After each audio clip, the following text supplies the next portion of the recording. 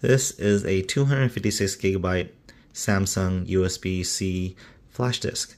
So this is a uh, hard drive almost uh, that's 256 gigs in size and you can plug it into your Android phone or an iPad to access your files but I use it strictly for vacation and I need to back up my Insta360 uh, files so I plug this into my phone and I'll show you guys how to do a transfer.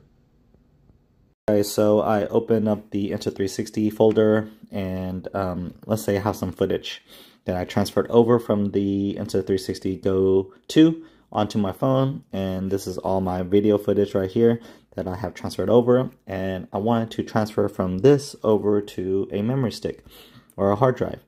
Uh, since you have an Android phone, you can actually do that by plugging in USB-C into it. I have a 256 gigabyte USB flash disk or a flash drive and I plugged it into my phone. So what I do is just open up the My Files app. It's basically another program that is actually gives you root access to your Android phone.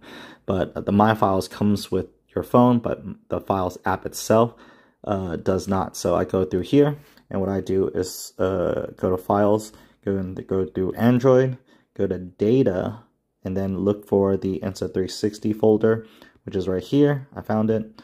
Let me go into it, go to Files, go to Insta360 which is where I think, I believe I had that camera, and so it kind of renamed that folder, and ever since I transferred to a new phone, it continues with it, instead of like what it is that comes with. So Gallery Original, and then Go 2, and then Camera.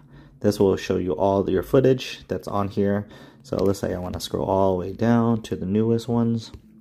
I believe this is what I recently shot. Let's say this MP4 video, I want to move it, right? Or copy it over to your USB stick. So you can move it or copy to.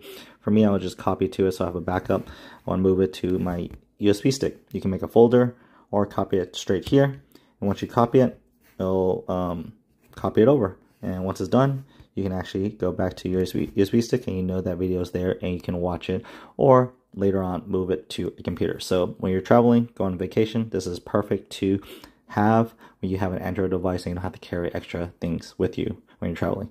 And that's how you transfer this footage over to your memory stick.